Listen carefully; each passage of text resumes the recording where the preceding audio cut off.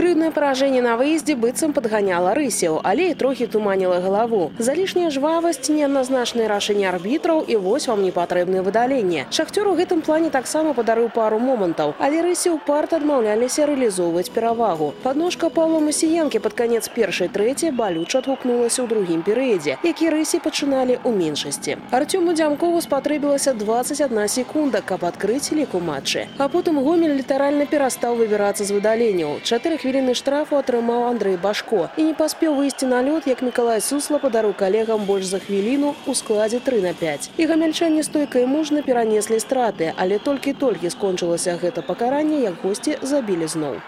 Соперник был ранен, соперник хотел реабилитироваться. Поэтому два периода практически ничего не позволил сделать нам впереди. Да? За два периода мы нанесли в створ ворот там 7 или 8 бросков всего. И я так думаю, что вратарь, видимо, был к ним не готов, потому что залетели, залетели два броска, когда он холодный. Они имеют место быть, да, голы? У трэцім перыядзе ў рукі сябе канчаткова ўзяў шахцёр. Вывераная схема саперніка не дазволіла гаспадарам лёду стварыць больш-менш сур'ёзныя моманты. 0-2. Ну, также я хочу поблагодарить своих хоккеистов, то, что могли, команда билась и до последнего. Мы даже сегодня вышли, мы верили в победу, хотели выиграть, но, к сожалению, не получилось. Да, э, преимущество было, как Андрей сказал, э, в атаке, но такого последнего броска, к сожалению, в завершающей стадии не было.